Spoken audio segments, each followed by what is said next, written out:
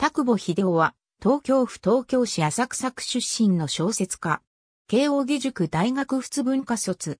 精緻な文体で男女間の心理の陰影を描き、短編の名手として知られた。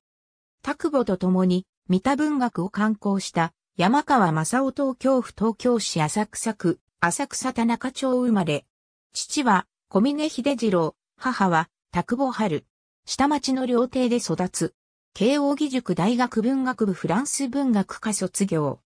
山川正夫らと第三次三田文学を刊行した。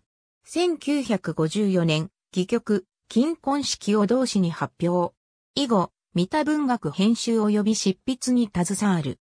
1959年、緑の年を慎重に発表し、分断デビューするが、幼少時の体験を描いた解禁で第46回芥川賞候補となり注目される。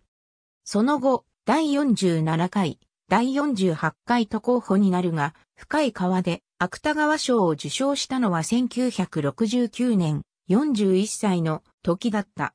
1985年から2000年まで芥川賞選考委員。短編の名手と言われた。